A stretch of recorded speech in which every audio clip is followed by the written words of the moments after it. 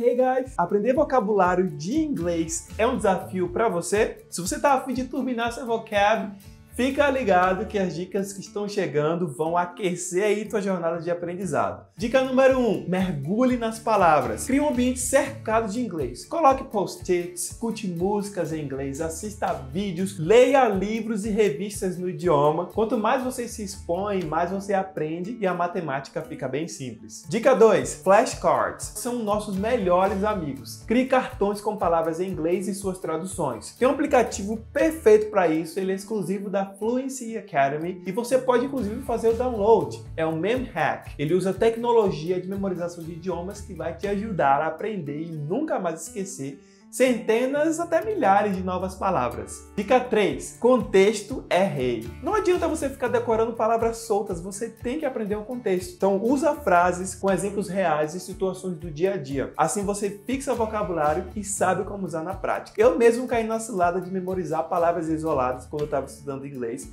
E quando chegava na hora de formar frases, batia a dúvida. O que é que vem primeiro? O que é que vem depois? Por isso, eu comecei a aprender frases completas. E aí foi, ó, um jogo que virou, porque eu aprendia como o vocabulário se organizava e já sabia uma frase toda para falar sobre algum tema que tivesse conectado àquilo que eu queria dizer. Curtiu essas dicas poderosas para aprender vocabulário em inglês? Lembre-se de se divertir enquanto aprende e pratique todos os dias. Every day, ok? Se você gostou desse vídeo, não esquece de deixar o seu like, se inscreve no canal e a gente se vê na próxima dica.